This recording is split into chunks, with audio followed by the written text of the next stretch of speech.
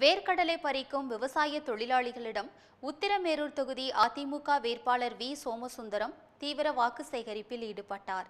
காஞ்சிபுரம் மாவட்டம் உத்திரமேரூர் சட்டமன்ற தொகுதியில் அதிமுக வேட்பாளராக போட்டியிடும் முன்னாள் அமைச்சர் வி. சோமசுந்தரம் உத்தரமேரூர் தொகுதி மத்திய ஒன்றியத்திற்கு உட்பட்ட புள்ளம்பாக்கம் கிராமத்தில் வீடு வீடாக சென்று வாக்கு சேகரிப்பில் ஈடுபட்டார். அப்போது அருகிலிருந்த விவசாய நிலத்தில் விவசாய தொழிலாளர்கள் வேர்க்கடலையை செடியிலிருந்து பிரித்தெடுக்கும் பணியினை மேற்கொண்டு வந்தனர்.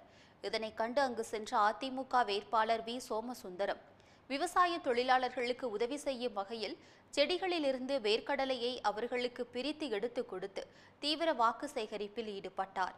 இதில் அதிமுக வேட்பாளர் வி. சோமசுந்தரம் உட்பட கூட்டணி கட்சி நிர்வாகிகளும் தொண்டர்களும் திரளாக கலந்து கொண்டு வாக்கு சேகரிப்பில் ஈடுபட்டனர். விவசாயி, அந்த விவசாயி மீண்டும் முதலமைச்சரா வரணும் நீங்க எல்லாம் ரெட்டலைக்கு ஓட்டு போடுங்கம்மா. உங்க கிட்ட எப்படி வரல? அதை சொல்லுங்க. அம்மா, இப்போ நம்ம ஊருக்கு வந்து குடிநீர் பிரச்சனைக்கு இப்போ எண்பது லட்சம் ரூபாய் டேங்க் கட்டிங்கிறாங்க டேங்க் கட்டுறாங்களா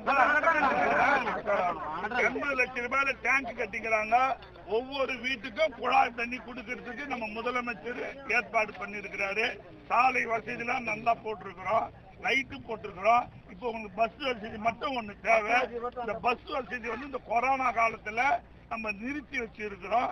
இந்த எலெக்ஷன் முடிஞ்ச பிறகு